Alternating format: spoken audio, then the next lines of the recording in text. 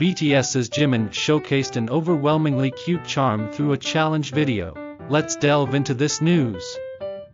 On November 1st, Jimin posted a video of the popular PoppiePo challenge on his personal SNS, a challenge that has recently gained massive traction on online video platforms like TikTok. The PoppiePo challenge began earlier this year and has been gaining popularity not only overseas, but also domestically. It has spread to include animals like dogs and cats, the general public, and even idols, continuing its trend, appearing in the challenge video with his bright golden hair and wearing the green knit he had on during the special talk with Jimin live streamed on Weverse on October 30th. Jimin maintained a stoic expression throughout, however, his unique adorable and lovely appearance stood out, moreover, with the catchy background music playing, close-up shots of Jimin, captured as the camera moved back and forth, highlighted his radiant milky complexion, capturing viewers'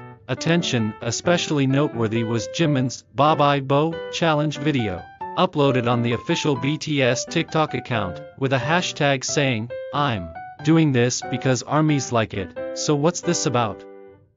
This hinted that he filmed it solely for his fans, eliciting both laughter and emotion. That's the news for today that if you like this video, please like, subscribe, and turn on notifications. Thank you, and take care.